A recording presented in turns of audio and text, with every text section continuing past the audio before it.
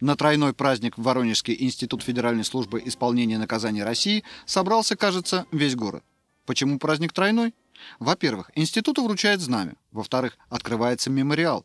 И в-третьих, это, конечно, выпуск молодых лейтенантов. Собственно, то, ради чего и существует любое высшее учебное заведение. Я считаю, что уровень подготовки выпускников вуза достаточно высокий. И сегодня я посмотрел учебную базу. Я бы хотел сказать огромное спасибо Валерию Павловичу за то, что он так много отдает времени и души э, развитию учебной базы. Я думаю, что вот при таких, в таких аудиториях и при такой, техни, при такой технической оснащенности ребята будут получать еще более серьезные базовые инженерные знания. Вручение знамени институту – это очень волнительный момент – Проходит он в полной тишине. Заместитель директора ФСИН России Анатолий Анатольевич Рудый передает штандарт начальнику института генерал-майору Балану. Затем полотнище вручают знаменосцу. Торжественный пронос знамени перед строем сопровождается раскатами «Ура!».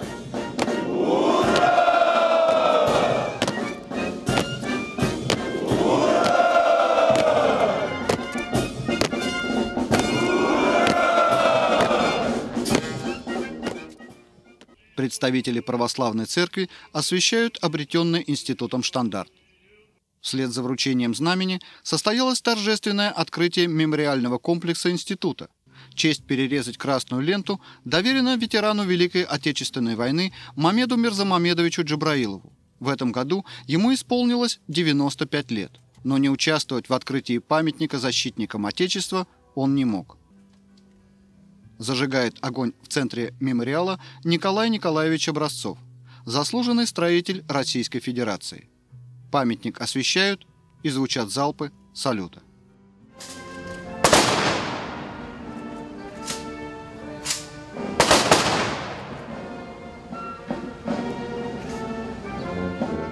Митинг на плацу института со словами напутствия молодым лейтенантам плавно переходит в кульминацию торжеств. 125 юношей и девушек выпускаются в жарком июле 2013 -го. Семь из них закончили вуз с отличием. Для них, их родителей и преподавателей, это праздник и начало долгого и трудного офицерского пути.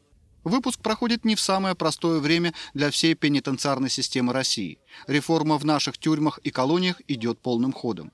Кстати, Воронежский институт Федеральной службы исполнения наказаний в 2012 году вошел в сотню лучших вузов России. В 2013 он повторил свое достижение. Два раза подряд – это уже система. Мы выпускаем 125 и сейчас выпускников. Для всех есть места, они уже знают, в каких должностях они будут уже трудоустроены сразу по, уже после выхода уже из отпуска. Пять лет, э, как уже сейчас прилетели очень быстро. Первое время только было тяжело, это первые годы в казарме. Ну, как нам, в принципе, обещали, то, что сначала будет трудно, но потом все пойдет как по маслу. Главное учиться, стараться, и все приложится. Самое лучшее время это было первый, второй, третий курс. А потом уже совсем все по-другому. Да, у них все будет хорошо. И вспоминать годы учебы в Воронежском институте ФСИН России они будут как самое лучшее время в своей жизни. Ведь молодые лейтенанты будут работать в таких местах, где надо не озлобиться на весь белый свет и на людей, не очерстветь. Возложение венка памяти павшим – тоже традиция. Традиция воспитания подрастающего поколения в патриотическом ключе. Однако выпуск – это всегда праздник. И без небольшого концерта никак не обойтись. Изюминка – выступление отдельного показательного взвода девушек-курсантов-барабанщиц. Они – гордость института.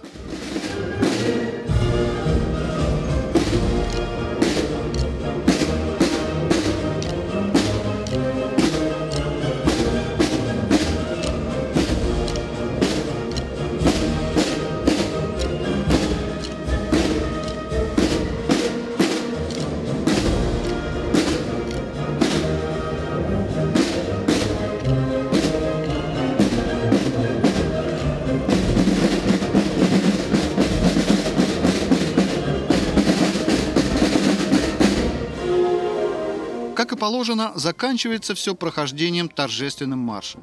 Развивается знамя, печатается шаг. Летят вверх монеты. На счастье.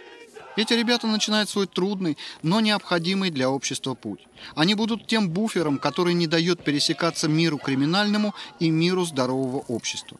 Они идут защищать нас от нас самих.